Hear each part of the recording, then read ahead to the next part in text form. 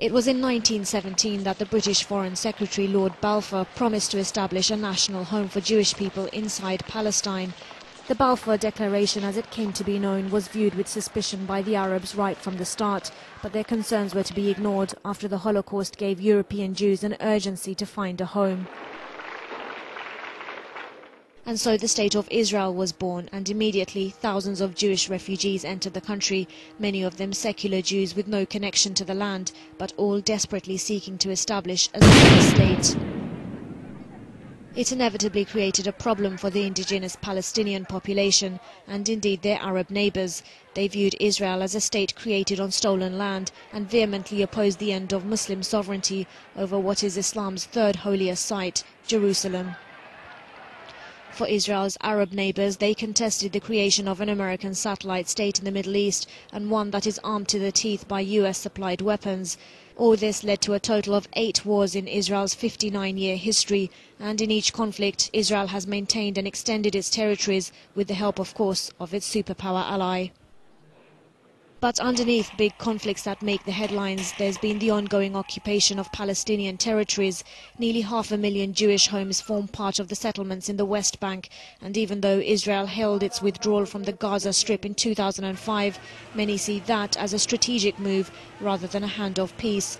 The high-profile withdrawal from this deeply impoverished strip provided cover for the annexing of yet more land from the West Bank.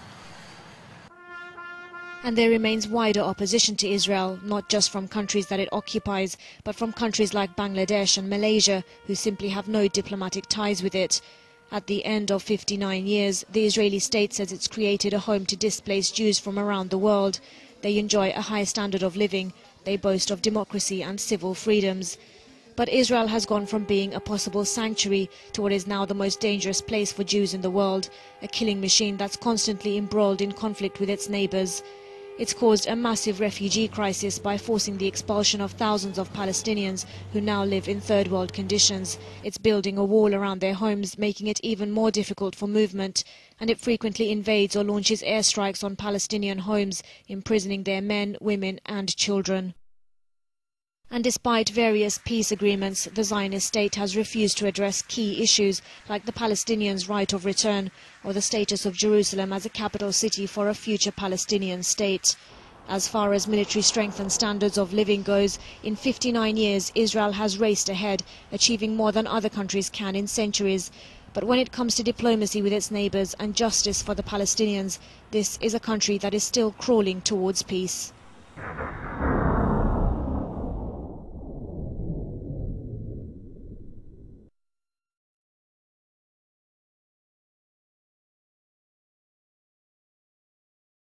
I declare Israel a state. Oh.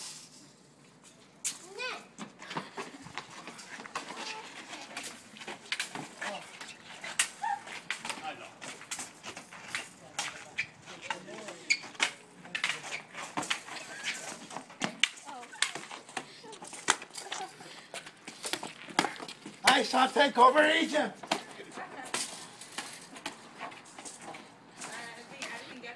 The peninsula in Egypt.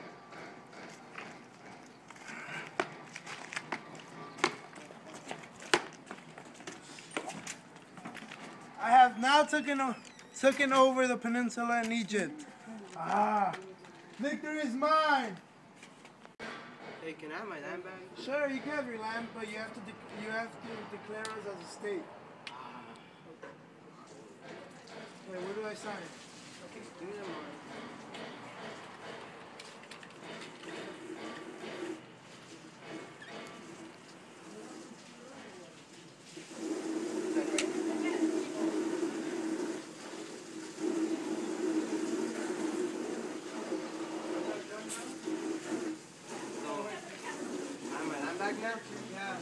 Now? You declare me as a state. Fine.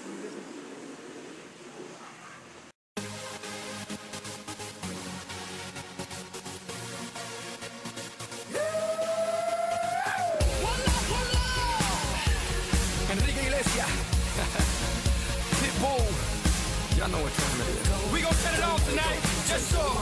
Set the club on fire. Just so.